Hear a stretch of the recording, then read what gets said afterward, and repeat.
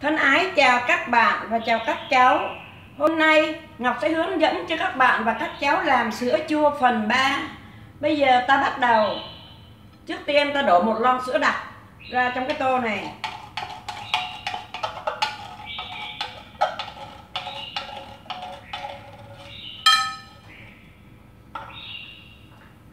Tiếp theo, mình đổ nước nóng vô đầy một lon sữa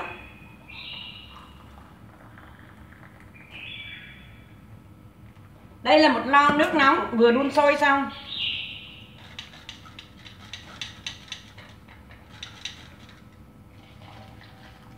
Bây giờ ta bắt đầu quậy sữa lên cho đều.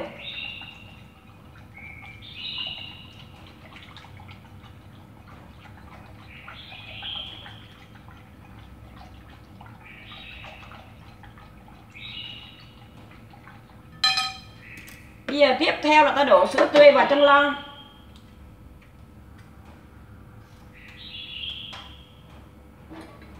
Đây là sữa tươi không đường các bạn và các cháu ạ. À.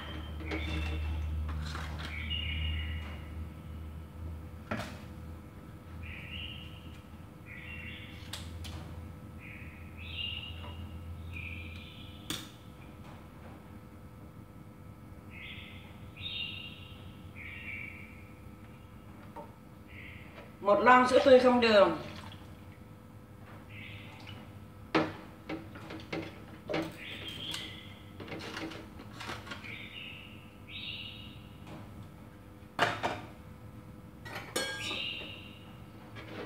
bây giờ mình đổ nước nóng à, nước nước nguội vào cho đầy đủ à, cho đầy một lon. Tức là một lon sữa đặc một lon nước nóng vừa sữa tươi không đường vừa nước lạnh là hai lon vừa nước nguội là hai lon.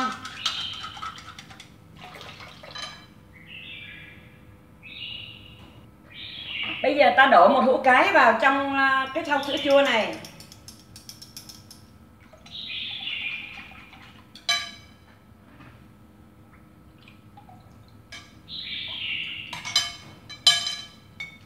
Đây là hũ cái, là hũ sữa chua mình ăn hàng ngày. Và mình phải để chua thêm một tí nữa. Nếu mà các bạn và các cháu không có hũ sữa chua này thì ta có thể là mua hộp sữa Vinamilk. Nhưng mà ta ra chợ ta mua ở cái hàng nào mà họ không có tủ lạnh á, thì hũ sữa nó, hũ sữa chua nó mới chua. Còn các bạn và các cháu cứ mua ở trong mấy cái hàng mà họ lấy trong tủ lạnh ra thì cái hộp sữa chua nó không có chua đâu. Làm nó khó được lắm mình ra chợ mình mua của mấy cái bà bán mà không có tủ lạnh á, thì hộp sữa chua nó mới chua.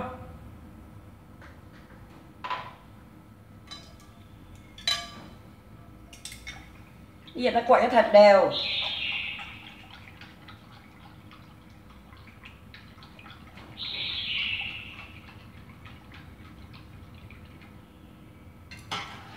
Và ta dùng một ngón tay chở ta thò vào. Trong này là ấm ấm thì là mình mới được đó trong này ấm ấm là mình mới được chứ nếu mà uh, nguội quá là không được. Bây giờ ta bắt đầu múc sữa chua vào trong cái uh, hũ này.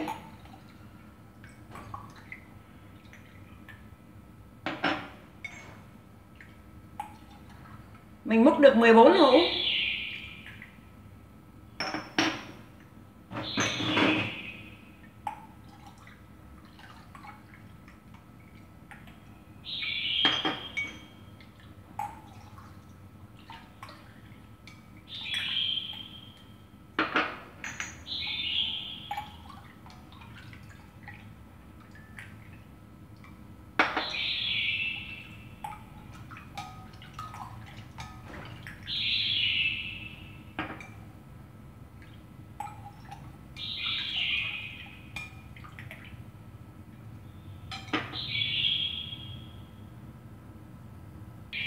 Bây giờ thì mình bắt đầu đi đậy nắp hũ dưa ua vào.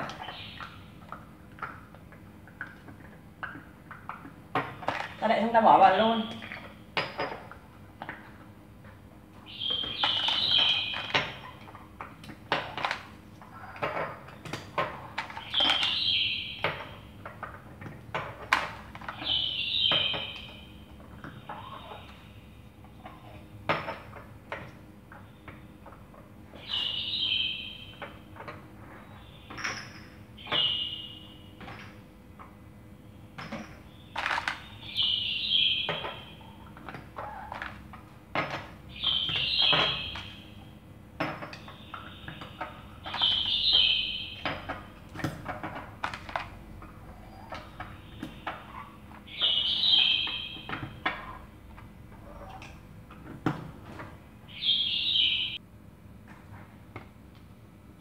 Bây giờ thì mình bắt đầu đi ủ da ua. Bây giờ mình chế vào đây một ca, một cà men nước.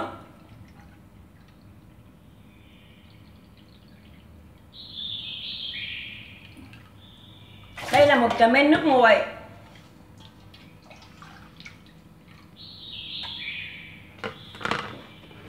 Và bây giờ mình chế vô một cà men nước nóng.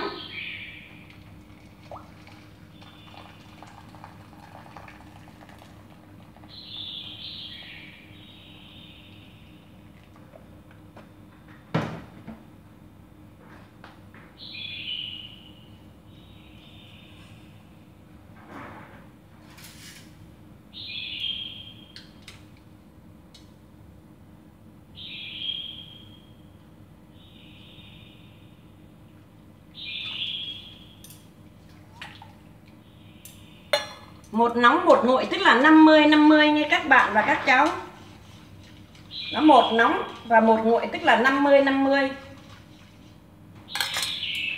ta bắt đầu chế vào trong à, cái thau dâu này.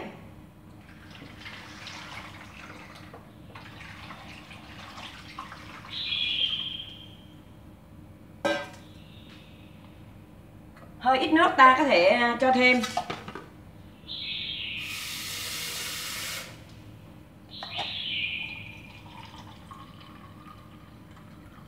Nửa lon nước nguội và nửa lon nước nóng.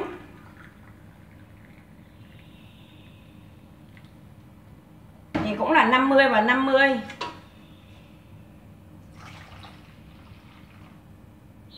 đó, mình chế tới à, cổ chai các bạn ạ. À. mình chế tới cổ chai. Giờ bắt ta bắt đầu đi ủ da ua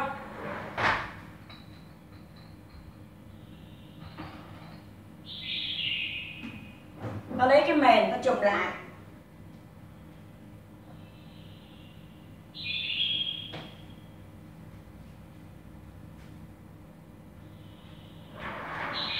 các bạn và các cháu thân mến trong khi mình ủ da 8 tiếng mình không được mở ra xem. Rồi mình phải dặn ở nhà không được uh, cháu nào mở ra xem hết. Nếu mở ra xem không được và ta không thay nước cứ để yên như vậy. Nếu mà ở các bạn và các cháu nào ở cái vùng nào mà lạnh lạnh thì ta có thể là uh, xài nước nóng 70 70 độ. Còn như mình thì mình xài 50 độ ừ, bây giờ nếu mà ta không có có hũ sữa chua thì ta xài cái này cũng được này cái hũ bằng nhựa. Mình mua ở hàng trà sữa chân châu á, cái hàng mà bán ly trà sữa chân châu như vậy. Đó. Cái này à, nó cũng có nắp nữa. Nhưng mà nếu nó không có nắp thì ta có thể dùng bao ni lông. Ta cắt bao lông ta bịt lại xong ta cột sợi thông lại. Hay là các bạn và các cháu có thể dùng ly uống nước cũng được lon sữa bò cũng được mà cái cà men này cũng được cái gì cũng được hết à, ăn thua là mình ủ nước nóng ừ, bao nhiêu độ. Và nếu à, các bạn mà không ủ nước nóng thì ta có thể mua một cái thùng ờ, ủ da ua bán ở ngoài chợ đó thì mình có biết là có một cái thùng để ủ da ua cắm điện và ủ không cần nước. Nhưng mà mình chưa thấy cái thùng như thế nào hết mình chỉ nghe nói thôi. Còn à, bạn nào và cháu nào có thể à, để trên trần nhà cũng được để trên trần nhà không cần nước nóng mình thì mình nghe người ta nói thôi chứ mình cũng chưa có áp dụng theo công thức đó. Có người bảo là để trên trần nhà là cái hơi nóng nó không cần à, không cần phải ủ bằng nước. À, các bạn các cháu có thể mua cái này nè rất là tiện. Nó có nắp nữa rất là rẻ 50 cái khoảng có bảy tám ngàn thôi chứ không có đắt đâu. Và hôm nay đây thì mình cũng uh, giới thiệu cho các bạn ngày hôm qua mình ờ, hướng dẫn các bạn làm bánh bông lăng chay, nhưng mình không giới thiệu bột. Thì hôm nay ờ, mình ờ, mình tiện đây mình giới thiệu cho các bạn là bánh bông lăng chay, mình xài bột này này. Không biết mua, mình mua hai gói là 70 ngàn, mà không biết gói này 40 ngàn hay gói kia 30 ngàn, không biết. Cái gói này với cái gói bột mì đa dụng, hai gói là 70 ngàn, là mình nghĩ chắc gói này 40 quá.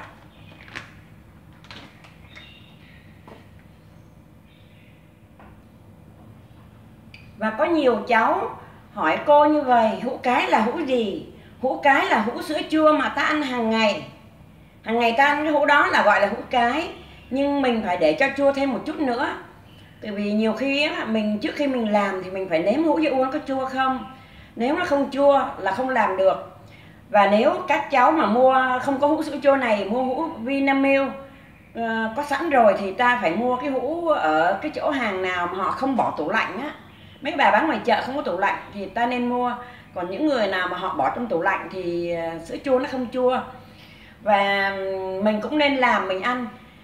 Chứ còn ờ, mua thì nhiều khi nó không có tốt đâu, tại vì mình nghĩ rằng cái sữa chua họ bán ngoài chợ không biết làm sao mà nghiêng qua nghiêng lại, nó cũng không bị long chân. Nghiêng, kiểu gì nó không long chân, còn sữa chua mình làm nó long chân thì mình cũng không hiểu họ cho cái gì.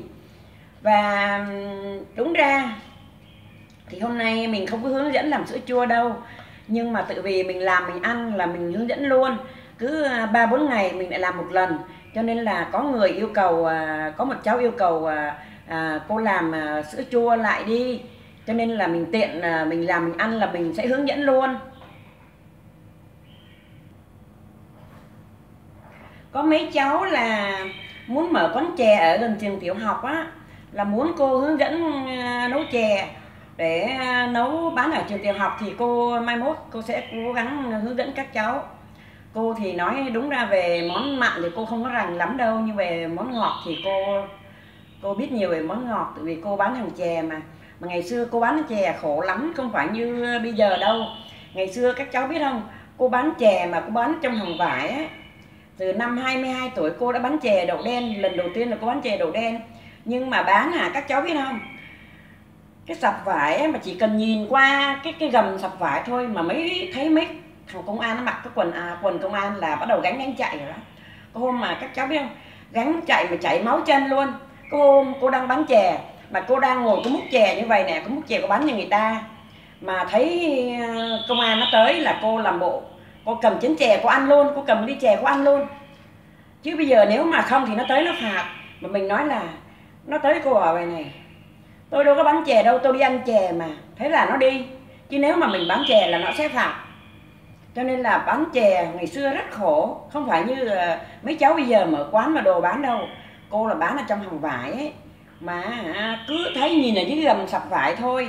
Mà thấy công an, thấy cái quần công an thôi, chứ không phải là thấy nó nữa. Là bắt đầu gắn chạy rồi đó. Mà có hôm mà nó bắt cô cho cô trong đồ công an, thu hết giống gánh luôn. Cái kỳ đó. Bắt hết nồi niêu son chảo bắt hết. Mà cô cũng lì lắm. Đến chiều nó nhốt từ từ trưa đến chiều nó bảo là mỗi người phạt 200 200 đồng hay 200 ngàn, lâu lắm rồi quên mất là mười mấy, hai chục năm rồi. Phải nó là hai mươi mấy năm rồi. Các bạn mà các cháu biết không? Mấy người kia phạt 200 ngàn về hết rồi, còn có một mình cô thôi, cô bảo vậy này. Kệ nó, cho nó nhốt cô đến ngày mai luôn. Cô không phạt. Cô có tiền mà cô không phạt thế là ba cô mới đem tiền lên phạt, cô mới về. Không thì thôi, cô cho nó nhốt tôi cô tới ngày mai luôn. Cô nói trong bụng cô, tao không có phạt, để cho mày nhốt tao tới ngày mai luôn. Thế là ba cô mang tiền lên, phạt cô về. Không phải như bây giờ mà bán buôn và sung sướng như bây giờ đâu, ngày xưa bán khổ lắm. Có lần hả, nó thu hết giống gắn vô, nó lấy hết luôn, không còn có một cái gì hết. Các cháu không tin, cứ hỏi những người lớn tuổi như cô là các cháu biết ngày xưa buôn bán khổ lắm, không phải như bây giờ cho nên bây giờ các cháu mà có điều kiện thì các cháu cố gắng buôn bán và học hỏi trên mạng. Chứ ngày xưa cô làm gì được học như vậy? Không có ai dạy hết. Người ta làm nghề, người ta giấu nghề lắm. Chứ không có ai dạy đâu. Cô chỉ đi học lắm hay là tự tự làm, tự mò mày đó mà làm thôi. Thôi thì à, thời gian đã gần hết rồi. Cô xin chào. Bây giờ mình xin chào tất cả các bạn. Xin chào các cháu. Chúc các bạn và các cháu thành công.